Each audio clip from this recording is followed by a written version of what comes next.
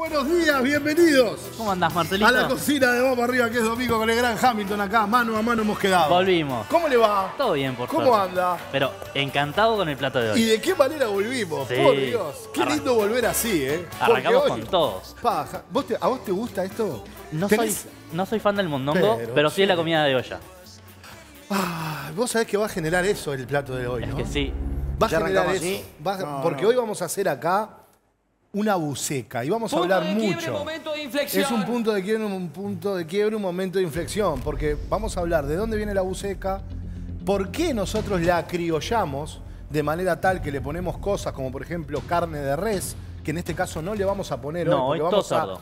vamos a arrimarnos a la verdadera buceca. Que por ahí vos decís, bueno, Marcelo, es parecido, ahí va, mirá, está sonando. Es parecido a los callos a la madrileña. Sí, sabés que sí, pero no tienen ese origen. Y hoy vamos a debatir también acá en la cocina. Si a vos, que estás del otro lado, te gusta, pero que viste que eso genera la buceca, ¿no? ¿Qué genera? Y genera ese amor-odio. Hay gente que no puede ver el mondongo. Y si van a alguna parte de Italia, ¿sabés lo que hacen con el mondongo? ¿Qué hacen? Una milanesa de mondongo. Eh, La pasan por pan rallado. Yo lamento, pan. lamento discrepar con vos, ¿De qué? pero la verdad, Nah. si hay algo que hay- pa- da para debate, para conflicto, no es la buceca. que guste o no, ¿no es? Obvio. ¿Por qué? Es el bacalao. Pero a vos te... Ah, también. ¿Pero qué tiene? Horrible. El bacalao es espectacular, bacalao fresco así, de- divino. el, por fútbol, el fútbol también genera debate. ¿Qué tiene que ver el bacalao con la buceca? No, No, porque pero que viste que hay debate. gente que le decís mondongo y sale corriendo de como- verdad. sí. No hay manera de hacer probar mondongo a la gente que no le gusta. Pero yo te puedo asegurar. Hay gente que le decís mondongo y sale corriendo porque Sí. hay que bajar el mondongo. Ah, bueno. ¿Qué le pasa? Me encantan esas, esas irrupciones Sí. así y se va. ¿Vos te referís a los precios, Luis? No, el mondongo. Ah, bueno, pero de eso vamos a estar hablando ¿De también. qué? De eso está. ¿Cómo se le dice esto? Esta pertuberancia ¿Dónde que está el mondongo? algunos. ¿El mondongo no, dónde está? Yo no le digo así. Pero esta pertuberancia que tenemos algunos. Eso, exactamente, perdón que me Protuberancia. Eh, no es P, es exacto, pro, perdón. Es verdad. ¿Cómo se llama esto? Eso, El pa- lunfardo. panza. No, el Buzarda. lunfardo. Buzarda. Buzarda. Ah, Buzarda. ah, y después por ahí vamos a incursionar, porque por ahí viene la etimología de esta palabra, pero después te lo cuento. Igual ¿eh? me sentí, me No sentí pasa discriminado, nada. Borneo. ¿Por qué? Dijiste, ¿Por hay qué? mucha gente que escucha mondongo y sale corriendo. y Yo no puedo correr ni en el ómnibus con la pierna así. La verdad. Tranquilo. Me parece que arrancaste tranquilo mal. que vas en Mi regreso franco- arrancaste mal. En franca recuperación, quédate tranquilo. Este quiere que hagamos todos los chistes que hicimos cuando llegó hoy. Vamos a El bullying que se comió Dale, pobre. dale, dale. Mirá que tema. Atender, atender. Vamos a contar la historia. Arrancamos, Javi, vamos a Arrancamos, contar esta historia, vamos a empezar a escribirla, dale. Escúchame, cebolla, morrón, ajo y perejil. Vamos Vas a con- arrancar así, ¿no? Exactamente. y Vamos, vamos a hacer dos ollas. dos ollas, porque hoy va a venir a todo lo que le... Alexi, por ejemplo, va a comer dos platos. Leo se va a llevar para la casa, el sonidista. No, no sabes lo que es, van a venir todo el canal a comer. Los que le gusta la buceca, Es que sin esto duda tenés que venir. hacerlo en cantidad. Total, exactamente. Y qué lindo que es también, vos creo que vas a coincidir que estás del otro lado, qué lindo que es hacer una buceca y saber esperarla. ¿A qué me refiero? Vos podés hacerla y sabés qué, al otro día cuando la recalentás, sin duda que va a estar mejor, como cualquier guisado. Como cualquier guiso. ¿Eh? Ah, y, y- y para ustedes que están del otro lado también, ¿puede haber una buceca sin pan? No. ¿Puede haber una infaltable. buceca sin pan? No. No, para mí no puede haber. No puede haber. Y aparte, ¿sabes qué? Que no quede seca del todo, Hamilton. No, tiene que quedar con Tiene que quedar un poquito de caldo, ¿no? Cebolla y morrón. Y a lo, a lo abuela Lola lo voy a hacer, ¿sabes por qué? Porque le voy a agregar ajo y perejil acá. A la rama. Ay, pero eso es mucho ajo. ¿Sabés lo que me Ay, no empecé, Charlotte, que no le favor, puso nada de ajo todavía. ¿Sabés lo que creo que me olvidé? ¿Qué? Pero en realidad no es un error porque hay gente que le pone y hay otras que no. Tranquilo, me pego un pique y te lo traigo. No, ¿sabés qué? Un buen chorro de vino blanco. Llegó para mañana, vamos arriba entre semanas. Un buen chorrito de vino blanco. Pero por ahí conseguimos, ¿eh? Un poco de vino blanco. Dulce. Vino blanco dulce. Y otra cosa que te voy a decir que me quiero detener, pero gastronómicamente hablando, me quiero detener puntualmente en esto. Hay una diferencia abismal, abismal, entre comer una buceca con el cerdo salado de dos días anterior Ah. que agregar el cerdo así como está. Vos tenés que agarrar el cerdo, este cerdo que tengo acá, que lo único que voy a usar es patita de cerdo y un trozo de asado de cerdo. Pero ¿qué hicimos con esto? Lo salamos casi 30 horas. ¿Cómo?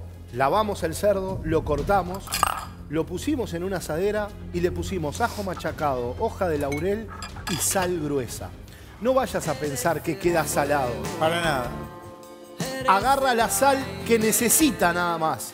Y hay una diferencia, si vos probás un trozo de cerdo así salado, como lo hizo Luis detrás de cámara, Sí, señor. es delicioso. Y le aporta la sal justa a la buceca. Déjame hacerte una pregunta muy de Pero, ignorante. no, por supuesto. Venite Después, que, si querés. después ¿eh? que elaborás toda esa mezcla para dejarlo a, a salar durante 30 horas. Sí, ¿Dónde, ¿Dónde lo dejas? en la heladera. En la heladera. Vos lo salás en la heladera. Antiguamente, estamos hablando, por ejemplo, de Galicia, la, la técnica de salar era una técnica, fainaban un cerdo y lo salaban y le duraba todo el año. Ajá. Estamos hablando de un cerdo de 300 kilos, ¿no? Sí. Y lo ponían en los saladeros que estaban revestidos, ponían las piezas, le agregaban sal y cuando querían comer algo, esto generalmente se hacía para aguantar todo el invierno. Bien. No se fainaba tanta res, se fainaba más cerdo. Porque es una carne más, que sirve para todo. Y se armaban los jamones, Y ahí los chorizos, y se colgaban, y se ahumaban. Y el cerdo aguantaba seis meses, Mira, o más, precioso. o más. Entonces se sacaba la pieza, se desalaba, porque ahí está la historia. Vos no podés tener cerdo salado y no desalarlo. ¿Cómo lo desalás? Eso te iba a preguntar. En abundante agua fría, Ajá. lo lavás bien, ¿Cuánto tiempo en agua fría? lo tenés que lavar 20 minutos. Está. 20 minutos lavándolo y sacándole la sal con el agua. Perfecto. Y ahí recién lo hervís. ¿Qué pasa? ¿Podemos seguir cocinando la buceca? Sí, pero me interesaba hace la dos horas que estamos hablando. Sí, me con pasa la que lo que- ¿Puede ser? pero- Después tengo que escuchar yo al tipo que me Yo te dice. quiero preguntar Oh, algo. dale, dale, ¿Vos dale. comés cerdo? Sí, claro. ¿Vos Está buena la pregunta igual, ¿eh? cerdo? Siendo yo de la colectividad judía, hay por mucha supuesto, gente que no come cerdo. pero por supuesto te lo pregunto. eso por eso, respeto. Por sí, supuesto, por supuesto sí. que sí. Yo sí, yo sí, yo sí. Yo quiero que vos pruebes. Ojo, bien la producción que me pregunta en vivo, ¿no? Cosa de que si no como cerdo me muero de hambre hoy. Qué planificación que Bueno, no tenemos. vamos Solo- a hacer siempre lo que nos gusta a nosotros. Solo quiero que pruebes este trozo de cerdo salado. Me encanta, No tiene nada que ver con un cerdo que esté hervido sin salar. me encanta. Y ese aporte de sal, que sentís un sabor distinto, va a ir a la buceca. Me encanta. Y casi no le vamos a poner sal. No le agregás sal, con esto Exact- alcanza. Exactamente. O le agregás muy poquito, digamos. Exactamente. Perfecto. Mis abuelos, que son de Galicia, hace 90 años que vienen haciendo esto. Desde que vivían en el campo hasta que están acá. ¿Qué estás ¿Qué hizo? Eh, Luis no come hoy, ya comió, ¿eh? Ya está, Marcia, no está. Un Te plato pido menos. por favor, Luis. Un plato menos. En serio. Tenía dos kilos, me queda un kilo. Uno te lo comiste vos. No seas malo. No seas malo. Te salvaste, Carballo. Pero por Te Dios. salvaste que no puedo ir a buscarte porque Por mirá que no voy a tolerar que me dejes ir al almuerzo. Te salvaste. ¿Se entendió, Lali? Clarito. ¿Se entendió la del cerdo? Sí, sí, sí, Por eso yo insisto tanto, porque el sabor cambia. El sabor cambia abismalmente. Lo que no se entendió ¿Qué es? desde que arrancó el programa fue que hay que llamar al 0900 Tenés 24 razón. 24 porque hay 40 mil pesos, Lali. por favor. ¿40? En la sal o en la pimienta. 50 y 50. 40 sí, señor, no, sí, 50%. Exacto. No, aclaramos no, porque no tiene 50 lucas. 40 mil, señores. 0924 24. Al final del programa te llamamos y me tenés que decir dónde están. ¿Sal o pimienta? Ibas a Nada. decir, me tenés que decir algo contigo, ¿no? No, Sí, iba a decirlo, sí, yo lo conozco. yo Y lo escúchenme, no, no queda acá esto. Con esto, si quieren, me retiro de la cocina. No, me ¿Por retiro de la cocina, no ¿sabés por qué? vas a. Luis, Lali, Jami. Porque va a venir Leticia y por si esto fuera poco, por si esto fuera poco de comer una buceca en el almuerzo, Leti nos va a preparar, ¿saben qué nos va a preparar? Algo que para mí, dulce, es irresistible si te lo ponen en una mesa. Uy, sí. ¿Qué?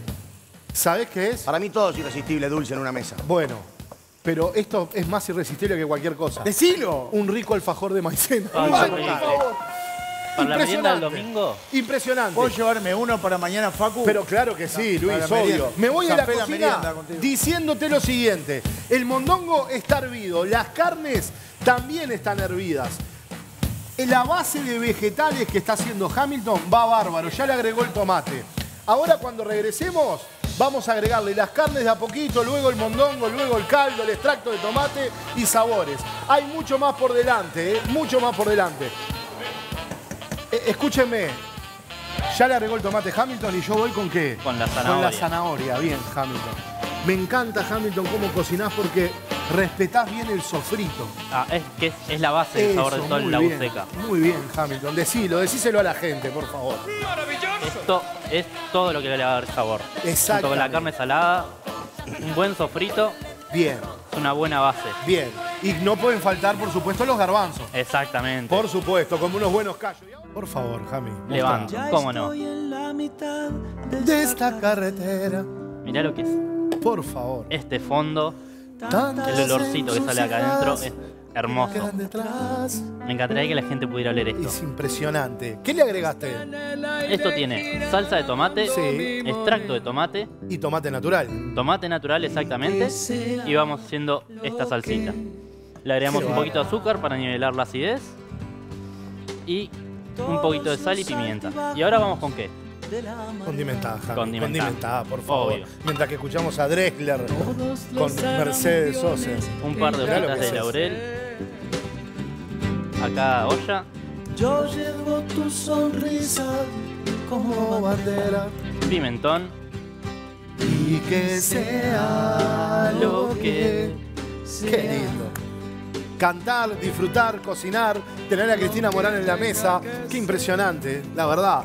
Y vos podés tener una confusión con esto, porque rápidamente te cuento, ¿de dónde viene la buceca? Si viajamos un poquito en el tiempo y en la etimología de la palabra. ¿De dónde viene esta palabra? Porque vos la podés confundir, ¿sabés con qué? Y está bien, con los callos a la madrileña.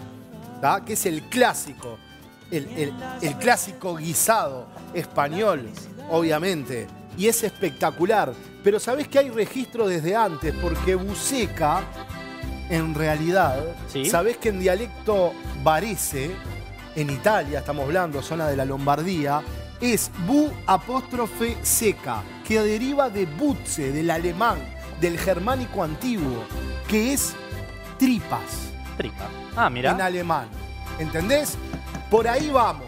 Butze, del germánico antiguo, que es tripa. Esto pasó al dialecto lombardo. ¿De qué manera? De forma de busa. Busa que es en dialecto lombardo, panza.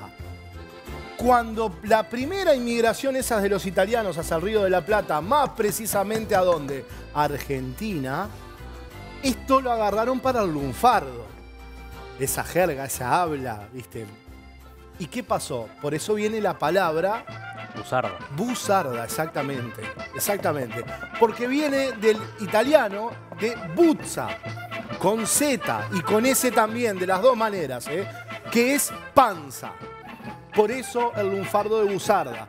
Por eso deriva esta palabra buceca que nosotros acá la criollamos, porque vos la vas a encontrar en España y no la vas a encontrar con carne de res. Nosotros acá, el concepto que tenemos de buceca, ¿cuál es? Todo lo que, todo, Todo. lo, lo que tenga para adentro. Toda la es más, Aguja. es más, la he visto, no sé vos, hasta con longaniza. No me ha tocado, pero no me sorprende. longaniza picada, pero de esas que nosotros picamos dentro de la buceca también, porque antes se relacionaba, ahora para hacer una buceca en realidad hay que vender alguna propiedad, alguna, está carísimo todo, ¿no? Pero no, pero se relacionaba con un plato de low cost, costo muy bajo. ¿tá? Y se lo asociaba más que nada a las tabernas, a los bares, esos bares que tenían un menú que todo lo que les sobraba iba para la Iba para buceca. adentro. Claro, es, se, se relaciona con eso, pero es un plato realmente, pero delicioso. ¿Te ¿eh? puedo compartir algo, Pero Marcelo? vení para acá, Porque dale. vos me hablas mucho de tu abuela Yoconda y Esmeralda. Por supuesto. Y yo quiero en este caso hacer Ay, referencia no me digas, ¿de a- verdad? A, mi abuela Leonor, que todo el mundo la conoce como la Lela, la mamá del papá, que durante toda mi infancia y adolescencia, todos los domingos nos juntábamos a almorzar en su casa, ahí en la Avenida Brasil. Mis primos que están mirando seguramente se van a acordar. Me encanta que Y recuerdes. ella tenía tres, cuatro platos por excelencia, depende de la época del año. Ravioles caseros, que eran una maravilla. Después tenía... Y fue la primera vez que yo vi el timbal de arroz en su casa, no me olvido nunca más, que aparte le ponía una salsa de espárragos que estaba espectacular. Una adelantada Sí, para sí, hacer sí, un sí. timbal en esa época. Y, y la buceca de mi abuela. Y ¿Estaba dentro de los cuatro? Sí, era eh, ravioles. El arroz El que en realidad venía con, con un hígado encebollado, que era, era mi favorito. Después estaba una torta de jamón y queso espectacular, que era más cuando había medio. El almuerzo era corto y era torta de jamón y queso, empanaditas, faina de choclo hacía ella casera rico. espectacular también. Y la el buceca. último era la buceca, que era para las jornadas más largas, que aparte me- me emociona mucho, recuerdo, porque era el plato favorito de mi papá de ese almuerzo de los domingos al mediodía. Una cosa espectacular, la buceca que hacía mi abuela. Lela, te quiero mucho y bueno, gracias Marce por recordarme esas lindas Dame un abrazo, me encanta. Vamos arriba. Me encanta, me encanta que esto suceda. Bueno, Jami, ¿qué le agregaste? agregué el cerdo que había salado vos y ahora vamos con el mondongo. El mondongo que está previamente. ¿Se acuerdan cuando el mondongo se limpiaba uña? Uf, ¿Nadie se acuerda de eso? No, Soy, tengo 45 años, Está, nadie se acuerda. está, está, Borneo, está. Pero de verdad, Ta, ta, nadie decime se cómo- cómo lo comía. Nadie se acuerda. ¿Quién- quién Se es? Yo me acuerdo, Decime, yo me ¿no te acuerdo. La, Sí. va- la Se valleja, ¿cómo limpiaba el mondongo? Pero, Ja, ja, pero Borneo. es verdad, es verdad, Luis. Eh, eh, Los que están mirando del otro lado se deben acordar. No, no se Nadie acuerda, limpió nadie mondongo se acuerda. nunca. Nadie Por se Dios. acuerda, el mondongo limpiaba uña. Por Dios, impresionante. ¿Te acordás? Sí, vos te me estás peleando. Mondongo, está hervido antes, ¿eh? ¿Y saben qué? Secreto, secreto de gente adulta. Una, una, una, un par de cucharaditas de bicarbonato de sodio al mondongo y ablanda un poquito más rápido. Opa. No me pregunten por qué, son de esos secretos. ¿Viste? Dos cucharaditas. Hay una explicación química, pero no la vamos a dar ahora. Así que, mondongo. Pa, va- vamos a tener que hacer otra olla, ¿no? me parece que sí. Porque ahora cuando le chicos. agreguemos el caldo para que hierva esto, nos vamos a quedar eh, eh, cortijo y. ¿No? Capaz vamos a tener que agregar otra, sí. ¿Le agregaste tomillo ya un poquito? Tiene tomillo, tiene laurel, tiene pimentón. Ta. Ahora lo probamos de ¿estás sal. seguro que es mon- tomillo y no ladrillo molido, no? No, no, pimentón, ladrillos pimentón. molidos con farina. No, por favor, les pido. Bueno, esto va a hervir, va a quedar espectacular. Todos. Es mi revolución, le digo de verdad, porque es una Es canción. un temazo. No, no, pero todo lo que hace este señor son temazos. Pero este tema, este tema es una sanación a uno mismo, es impresionante, realmente. Deberían, no sé, eh, pasarlo en todos lados, desde los colegios hasta los liceos, las escuelas, todos lados. Es impresionante. Impresionante. está esta- Impresionante esta buceca. No, no, miren esto, por favor. Miren es esto. Voy así. Quiero Todo lo que me hace mal, lo oscuro del juego. ¿Te parece si estoy pasando platitos, Pero por Marce? supuesto, ya. Increíble. Las heridas del tiempo. Voy, ¿eh? Venga. hoy que pronto será ayer. Mira esto. Qué rico, qué rico. De líquido justo ahí, ¿eh? Divino. Y terminamos con un poquito de perejil fresco. Me encanta. Ahí está. Ahí va una patita, mira esto. Vamos con otro platito. Encontró su remedio. Mira, voy. Ahí. Qué delicia, por favor. El olorcito que suelta esto. Esto a mí me da para la, para la mitad de la entrada. ¿Eh? Claro. Para abrir el apetito. Y mira cómo quedaron esos alfajores. Por favor, esos alfajores. Divino, no hay mejor postre, ¿eh? Realmente. Ahí voy. El tiempo. Cantamos. Falta un vinito. Pero ya. Un vinito tinto con esto. Ah, Esa es mi revolución. todos. Llenar de amor mi sangre y si reviento. Que se esparza en el viento el amor que llevo dentro. No hay mejor letra que esta. Voy. Estás limpiando los bordecitos, ¿verdad, Jami? Exactamente. Qué grande. Ahí. Qué grande. ¿Sabés lo que vamos a hacer ahora? Y lo vamos a hacer contigo, que estás del otro lado, con Leti, con los chicos y con Cristina. Vamos a repasar la receta. Vení, acompañame, mirá. La receta de Vamos Arriba, que es domingo, ¿eh? esta buceca, porque hay varias versiones. Escuchá, ingredientes. Un kilo y medio de mondongo limpio. Toda la carne, No, el mondongo y todo es de la mejor carnicería del país. ¿De qué locura? ¡Qué Siempre, locura! ¿eh? siempre. De la carnicería Lali. ¡Qué locura! Exactamente. Un kilogramo de asado de cerdo, dos chorizos colorados, un trozo de tocino. Le podés poner tocino o panceta. Es mejor con tocino salado. Nosotros lo obviamos el tocino para que no caiga tan pesado. Pero si lo salás y lo freís, es delicioso. Dos patitas de cerdo, dos morrones rojos. Hay quienes no le ponen morrón rojo, ¿eh? La criollamos nosotros y le pusimos pimiento rojo. Pero algunas no llevan. Dos cebollas, dos tomates, dos latas de tomate perita, dos latas de garbanzo, dos hojas de laurel, cuatro dientes de ajo, sal y pimienta a gusto para esta buceca que es de las dos orillas, ¿eh? de Argentina y Uruguay. ¿Qué opinan, chicos, ahí en la mesa? Precioso. Me voy con ustedes, me voy te con ustedes. ¿Qué Estaba estamos- hablando con Cristina, loco. ¿Está Cristina acá? Le va a dar cáncer Sí, la verdad que tenés razón. Ah, bueno. No, no, no, quiero mostrar este plato, mostrarlo, mostrarlo, mostrarlo, mostrarlo. No se puede creer. Qué pinta, ¿eh? Qué bárbaro. Bien.